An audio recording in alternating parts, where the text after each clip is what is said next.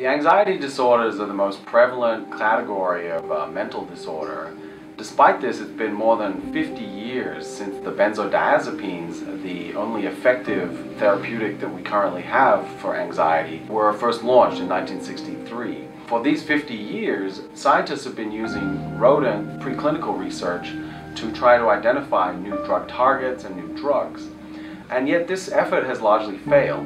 I observed that flies followed walls, a behavior that is reminiscent of similar behavior in rodents.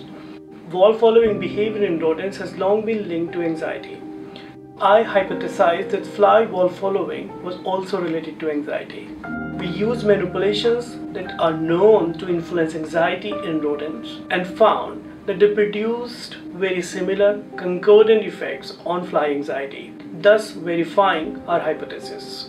Now that we have a fly model of anxiety, there are five major advantages. They're faster, cheaper, the genetic tools are better, the brain is smaller, and fifth, flies allow us to use much larger sample sizes, which yield more reliable results. So what are the outstanding questions that can now be answered with our fly model? And I think one of the biggest ones is the serotonin paradox. It's clear that the serotonin-based drugs are not effective on emotional disorders, and yet it's very clear from our work and work done in rodents that serotonin has a huge effect on emotional behavior.